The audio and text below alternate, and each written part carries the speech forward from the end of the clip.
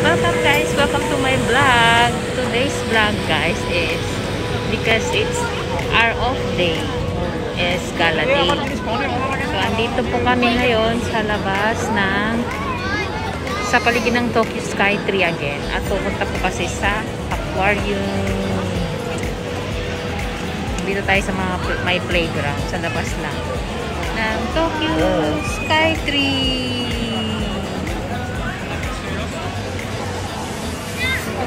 Dito, wala yung dinosaur na yan. Pero ngayon meron. May mga bata po na naglalaro sa paligid. Yeah, yeah, Tokyo Sky Tree again. Pero hindi tayo pupunta dyan na kasi nakapunta na tayo dyan guys. Next destination natin is dun sa may aquarium nila dito. Pero nandito lang sa loob yun eh. Nagpa-escape pa kasi kaya ngayon lang pumunta. Today is family day. It's Father's Day.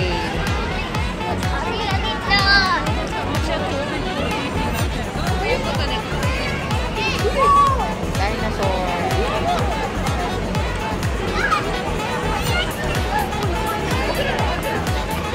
Ang dami mga bata naglalaro ngayon at nag enjoy sila. Today's Father's Day. Happy Father's Day po sa lahat. And happy Father's Day po sa aking tatay na nasa heaven na. Nalala ko yung pamangkin ko mahilig sa dinosaur. T-Rex! T-Rex! Hello guys, welcome to my vlog. Today's vlog guys pupunta kami sa Sunida Aquarium. Yung una is exciting.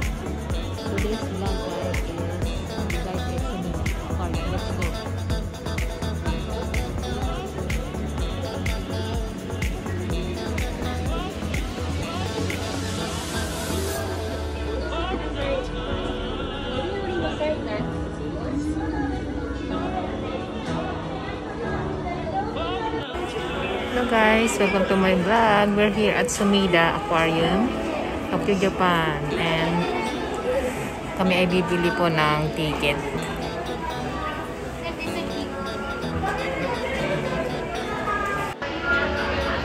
So guys, before you enter the Sumida Aquarium, Tokyo, is kailangan mong download na QR code and then hanapin mo yung link nila bago ka kasi makakabili ng ticket dito sa loob.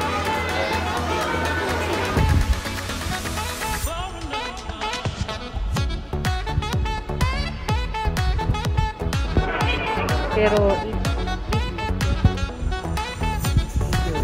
mga time schedule bago ka makabili. Kasi everyday maraming customer. So, see you later guys.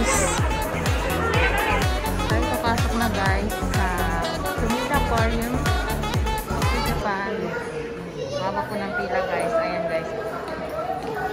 Iba pa nung umaga. Ngayon hapon na view namin. So, everyday, di, ano, marami silang customer guys. Mamatay na yung body temperature guys. Bago pumasok.